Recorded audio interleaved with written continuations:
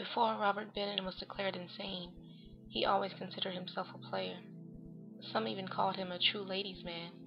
He had money, charm, and a black book full of numbers, but that was never enough.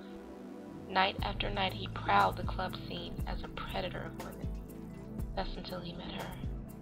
She said her name was Monique.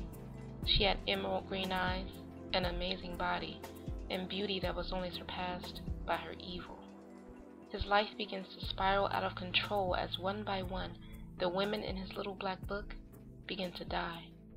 Robert is in for the fight of not only his life, but also for his very sanity. He embarks on a frantic battle against a seductive monster of myth who is coming for him next. Plug is for Samson's Barber. Ladies and gentlemen, you gotta pick up Samson's Barber.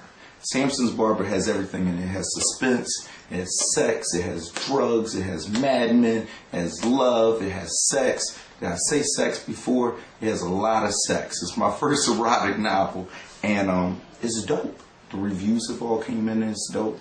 You know, we got movie deals and stuff. We doing big things with Samson's Barber. For your copy of Samson's Barber and much more, go to ronbaxterbooks.com. You won't regret it.